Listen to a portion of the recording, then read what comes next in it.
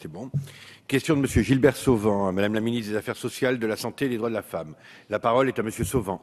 Merci, Monsieur le Président. Madame la ministre, j'attire votre attention sur la redéfinition du rôle des hôpitaux locaux dans le cadre du projet régional de santé et du schéma régional d'organisation des soins 2012-2016 en cours de révision. Le principe est de faire de ces établissements des interfaces et des passerelles entre la médecine libérale et les centres hospitaliers en les faisant évoluer en plateformes sanitaires, médico-sociales et sociales. Les Alpes de Haute-Provence comptent 12 établissements de santé autorisés pour l'activité de soins de suite et de réadaptation, dont 8 ex-hôpitaux locaux qui ont une faible capacité dans ce domaine.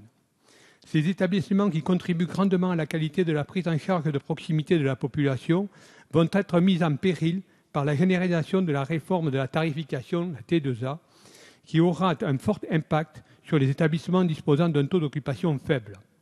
En effet, celle-ci repose sur une logique de mesure de la nature et du volume des activités et non plus sur une autorisation, ce qui aura des effets néfastes sur les petits hôpitaux locaux.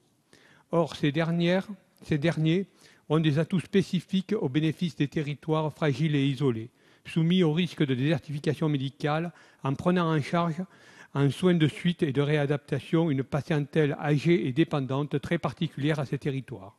Je suis particulièrement inquiet car les établissements concernés dans les Alpes-de-Provence sont en situation d'isolement puisque le centre hospitalier le plus proche d'Igny-les-Bains est situé à plus d'une heure trente de route. Il est indispensable de maintenir leur activité dans les meilleures conditions pour répondre aux besoins de la population.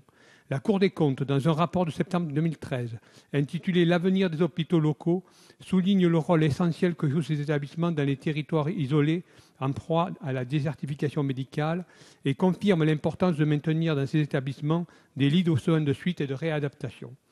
Je vous demande donc, Madame la Ministre, face au péril que peut représenter pour nos territoires la généralisation de la réforme de la tarification, et avec les recommandations de la Cour des comptes, comment comptez-vous agir afin de permettre à ces établissements de proximité de proposer la meilleure offre de soins possible aux populations permettant de maintenir un service de santé de qualité dans nos territoires extrêmement fragiles? Merci, Monsieur le député. Madame la ministre. Monsieur le député Gilbert Sauvant, je sais combien vous êtes engagé pour la défense de votre territoire et l'accès aux soins en particulier. Et euh, sachez que Marisol Touraine et ce gouvernement mènent une action déterminée de réduction des inégalités territoriales d'accès aux soins, comme le démontrent un certain nombre de mesures qui ont déjà été engagées. Ainsi, depuis 2014, les établissements qui sont situés dans des zones de faible densité de population ont la possibilité de bénéficier d'un complément de financement dès lors que ces établissements répondent à des critères d'isolement géographique. C'est par exemple le cas du centre hospitalier de Digne-les-Bains.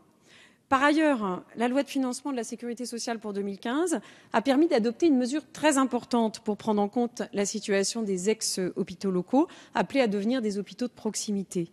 En effet, le passage à la tarification à l'activité, la T2A, prévu initialement au 1er mars 2015, se serait révélé inadapté pour la grande majorité de ces établissements dont l'activité est par définition faible.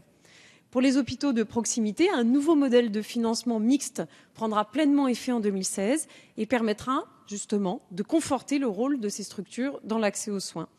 Ces mesures doivent permettre d'accompagner les établissements concernés vers un rôle en quelque sorte de pivot de l'offre de soins, en particulier dans les territoires euh, les plus fragiles. Le département des Alpes de Haute-Provence se caractérise par la présence d'anciens hôpitaux locaux positionnés sur une offre de médecine, de soins de suite et de réadaptation et une prise en charge médico-sociale importante. Votre, département sera donc particulièrement concerné par ces évolutions prochaines. L'Agence régionale de santé de Provence-Alpes-Côte d'Azur disposera de tous les outils nécessaires pour accompagner au mieux les établissements de la région en tenant pleinement compte du rôle des hôpitaux de proximité dans l'accès aux soins des populations de leur territoire. Des contacts ont été pris en ce sens avec les établissements concernés et continueront de l'être pour répondre dans les meilleures conditions aux besoins des populations locales. Merci, Madame la Ministre. Monsieur Sauvant. Merci, Madame la Ministre. Vos propos me sont rassurants. Néanmoins, je veux quand même attirer l'attention de Madame la Ministre Marisol Touraine sur le fait que si nous transformons nos hôpitaux locaux en EHPAD, eh bien c'est donc un service de soins continu qui existe aujourd'hui, qui n'existera plus demain, notamment en ce qui concerne les médecins et les infirmiers. Euh, nous avons euh, des distances considérables à faire pour aller dans un centre hospitalier, plus d'une heure d'ambulance, mobilisation des sapeurs-pompiers.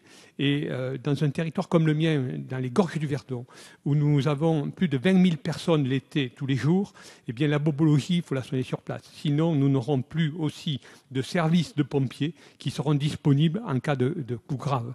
Donc, Madame le ministre, merci de vous faire ce relais. C'est un point extrêmement important, surtout lorsque j'entends Madame la ministre nous dire que les services de santé doivent rester à proximité. Merci.